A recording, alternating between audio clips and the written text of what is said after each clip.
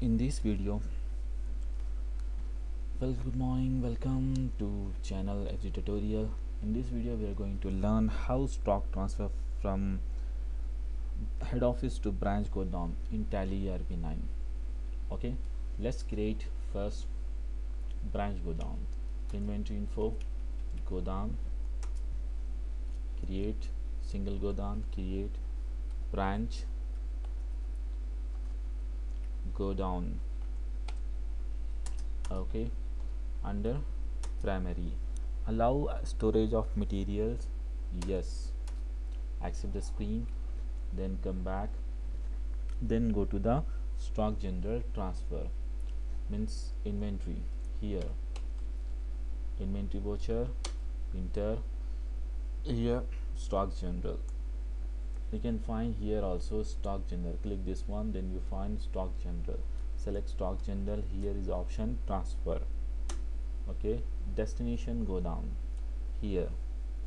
Destination godown.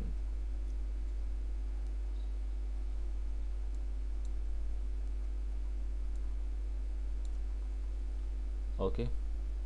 So here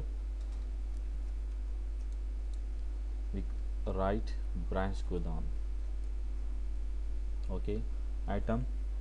For example we want to transfer 10 computer athlon 10 computer p4 so accept com computer athlon and computer p4 10 computer p4 from which godown? Finish godown head office. Finish godown.